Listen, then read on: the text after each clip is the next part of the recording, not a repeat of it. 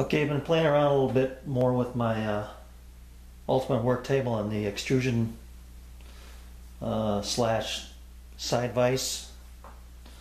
Um, the one thing I wanted to show you was I was playing around with the idea of uh, having uh, this back in back in here in its original spot where where both uh, slots were used to connect it to the table.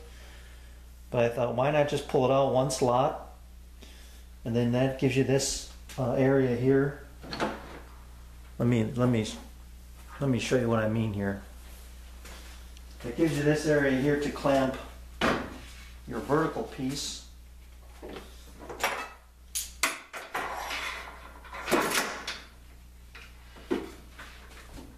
Like, like so.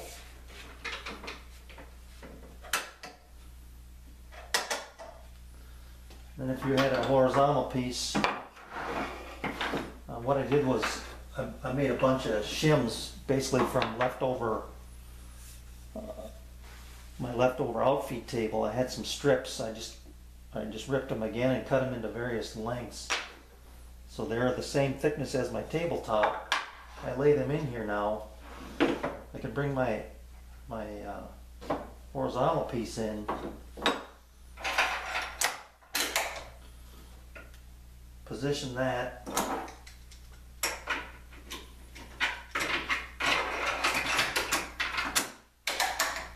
Clamp it.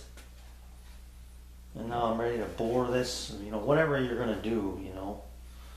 If you wanted the top piece to overlap the, the vertical piece, then, then that's easy enough to do.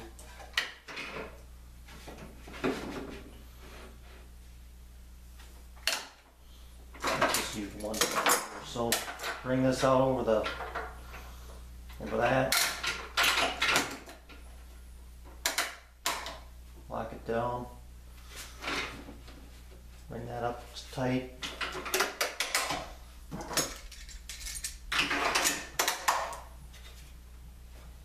You know, now, now you're, now everything's locked together and, and you can, you can go to work up here. If this clamp was gonna be in your way, you could position this anywhere on the table where you where it would be advantageous to use these holes on here. I can't use that one because it, my clamp won't turn. So what I would have to do then is I could slide this over now that I know that I'm going to use this this edge. Slide everything over. I was going to go to this corner like that.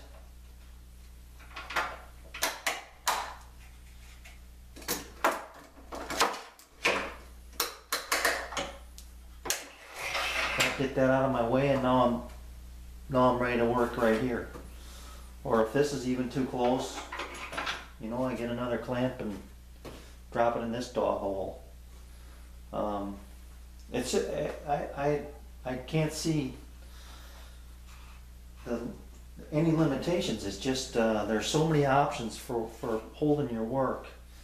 Um, this this had a million options to hold your work. And now this just compounds it, I think, where you're able to do everything from side work to whatever. Now the one thing that I did have here was that if I put that piece at 80-80 on here, I couldn't open my drawers. So if I take a piece of 40-80 uh, and I slide this in here,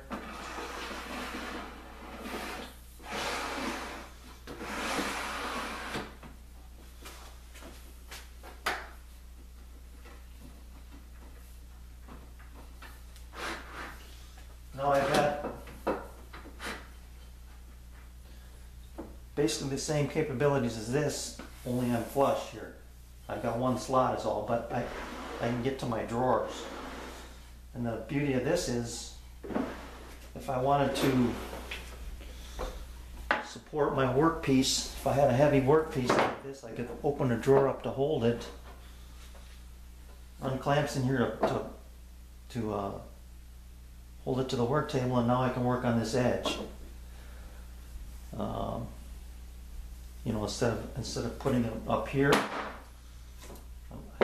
lower my work a little bit, and if, if this is too high, you know, I can bring in my, my other drawer. And, and now if this is too low, I just get a couple of blocks and shim this up where I want it, lock it in, and go to work. So, I'm really, I'm really looking forward to using this thing. Um, the other option I have now, if I do this, is if I needed, well, I can lock this down I'll just tighten these two. Like that. Even just tightening to it makes it rock solid. I can take this extrusion which has got these connectors. They're called mid connectors. I think that's what they're called anyway. And uh, what they have in them is a it's a conical set screw that fits into that recess on this connector. So when you put this together,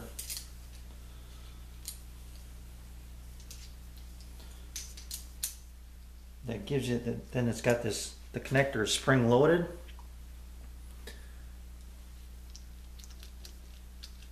So as you tighten that, as you tighten that conical set screw, that, that either draws it in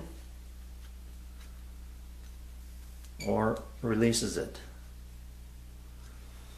So this piece of, this piece of uh, 4080 has got two mid connectors on it. I can slide that in here. Loosen this one up a little bit.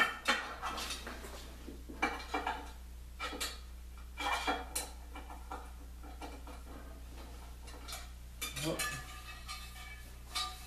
Going there the wrong way. There.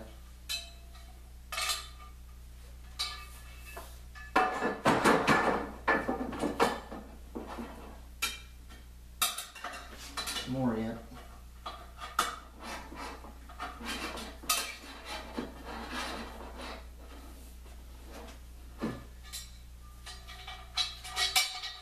No, that's what it was.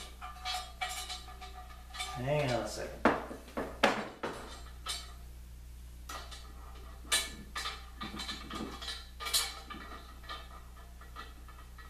Okay. That one was a little for some reason. Now I can slide this in here. Tighten this up.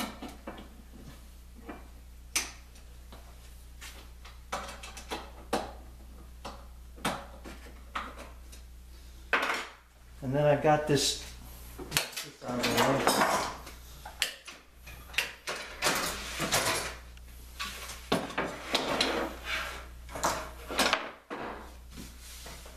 You've got a straight edge to, to register against. And to keep things perpendicular. So I know my tabletop is square and everything that's fastened to it is, is referencing off of that. So now I know this is gonna be square. And I can clamp it down back here. On here. Like I say, off the charts. Um, this here, well, I can come back in here with this. If this is what I was doing. Butt that up. Lamp it down. Go to work.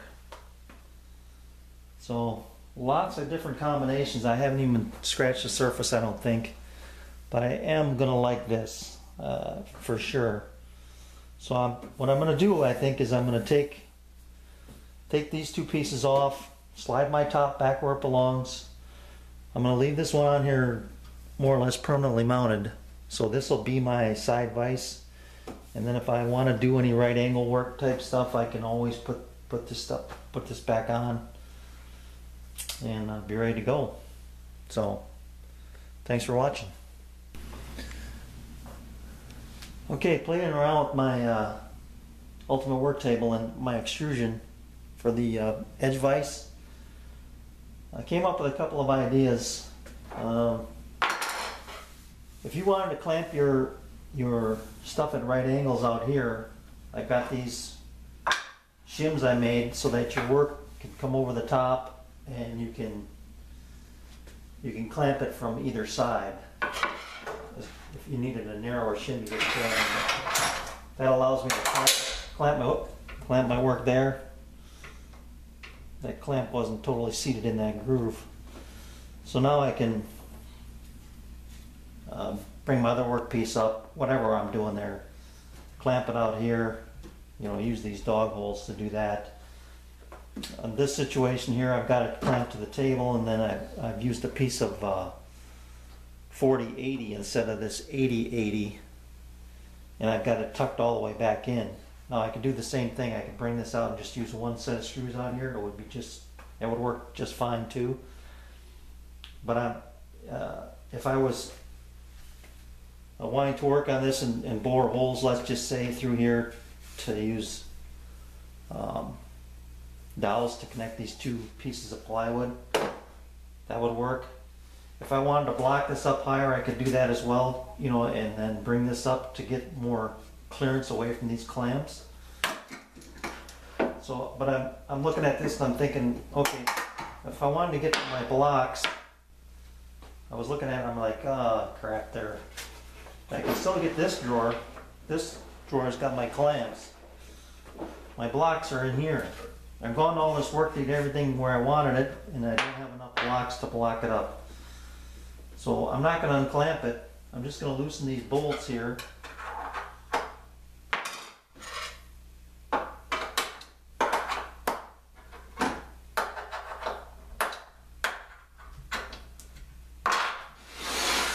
Just slide it out of the way. Get the blocks I need. Yeah, we'll just go or we'll make sure they're all the same height, get, put my drawer back out of the way, bring my workpiece back over here. You know, tighten this down again. I guess I'm gonna have to loosen it up anyway, but.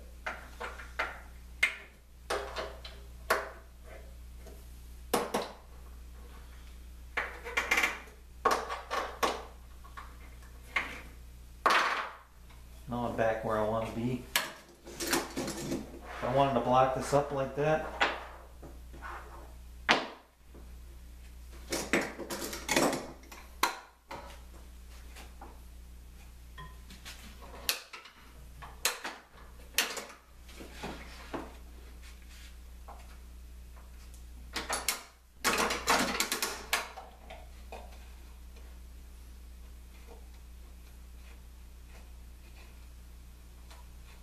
Get that nice and level here.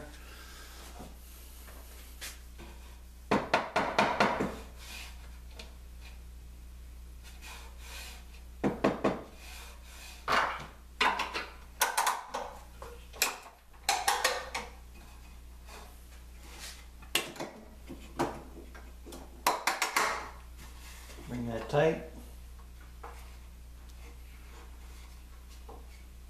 I could get another clamp, you know, over on this side.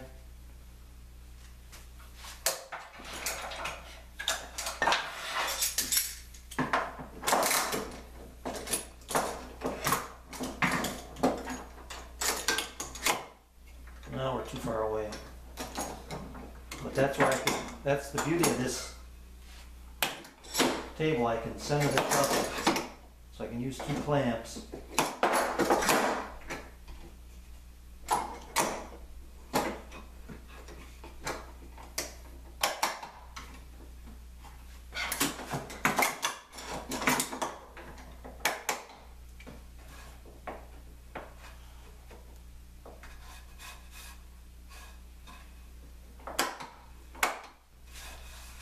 Now, if I want to position this, I can slide my extrusion.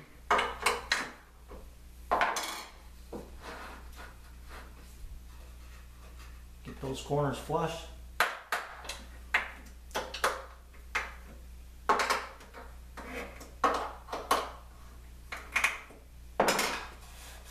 There you go.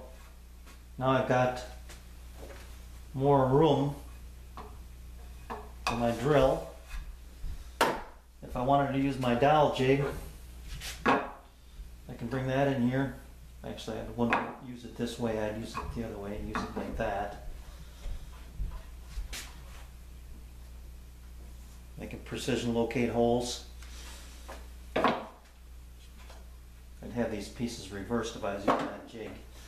But I'm, I'm, I'm thrilled and I'm really looking forward to using this to, to create uh, some of my next projects. It's always fun to create a project in the shop to help you create projects. So thanks for watching. I hope this inspires you maybe to build one of these tables and then give yourself some more flexibility by adding the extrusions on the edge. Um, one thing I would do differently, I guess, if I was going to do it and I had these extrusions, I had this in mind before I built this, is I'd shrink my uh, sawhorses down a little bit so that I didn't have to do all this moving of my top. But it's fine. I'm I'm fine with it. Um, and that's also the beauty of this. You can cut your cut your saw sawhorses down a little bit on the ends here and shorten your drawers up a little bit, and then you'd be you'd be good to go. Thanks for watching, guys.